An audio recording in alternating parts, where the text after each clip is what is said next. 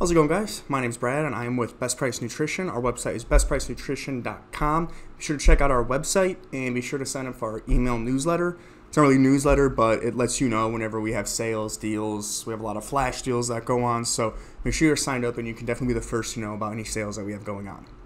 So, today I want to talk to you about the pro hormone from Hi-Tech Pharmaceuticals called Dianabol. So, Dianabol has a bunch of stuff in there yeah, so if you look at the supplement facts of Dianabol, it's a pretty lengthy list. Um, in one of the videos previously, I went over everything in there. I don't think anyone's actually interested in that, so I'm not going to do that. If you guys want to see a video where I go through every single ingredient and let you know what it does, let me know and I will, but if there's no interest in it, I'm not going to do it. Um, so I'm going to give you the broad strokes today. So Dianabol like Equibolin, the main ingredient in there is a 1,4-andro. So the 1,4-andros are kind of rare, and they turn into boldenone, which is a anabolic hormone that you know it's in a. It's what some steroids turn into, but specifically this pro hormone turns into boldenone. Um, boldenone is really really good for bulking because it increases strength, it increases lean muscle mass, and it increases appetite.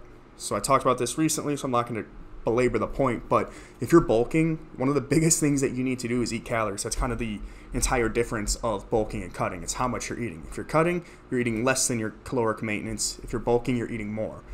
If you're trying to bulk as much as possible, as quickly as possible, you want to have a high appetite. If you're someone who just doesn't eat that much as is, it's going to be really hard for you to bulk. Um, and it may do the opposite, where you'll eat really heavy for a few days and then be so put off by eating that you just eat really light for the next couple weeks because you're kind of grossed out by how you did eat. If that's you, if you're someone who doesn't eat that much, then you need something to increase your appetite. And that's where one of these pro hormones, whether it's equibolin, specifically dianabol in this one, will help you. Um, dianabol also has a lot of different compounds, some herbal, some synthetic, that are going to help amino acid uptake, going to help uh, muscle retention. So, something that a lot of people don't think about all the time is that it's not always constantly you're building muscle on top of muscle. It's a net game. So, you know, you do lose some amino acids in your muscle throughout the day, and then you put some on, and then you build it and you lose it. If you always just have muscle preservation, muscle retention, then you're only building on it. Um, so it's not 100% you're not going to lose anything, but you can retain as much as possible, which is going to help you build muscle. And some of the other ingredients in here are going to help boost your testosterone. And then the other things in here are going to help promote muscle protein synthesis. So a lot of times when people see a label like this, they think like, "Oh my god, like this is all this is hormonally it's going to make me go crazy." No. There's only a few things in here that are hormonal. A lot of them are things that will bind on to uh, proteins in your body and then make your body do some things. It might bind onto an enzyme, make an enzyme work better, or inhibit an enzyme right? That's what an aromatase inhibitor is. It's going to stop uh, estrogen, testosterone from converting to estrogen. So when you see a list like this, don't be scared. A lot of it is herbal. A lot of it is non-hormonal. Some of it is, but don't look at this and be freaked out and think it's not for you. Um, and another thing about this is that it is a dry compound, and it's actively dry, meaning that it will reduce water retention under the skin. Um, if you're just fat, then you're just going to be fat. It's not going to do much for you. Um, but if you're holding a good amount of water, if your salt intake is kind of all over the place, if you have high estrogen, which you might, um, first off, you want to lower it. That's how you're going to get rid of that water in the first place.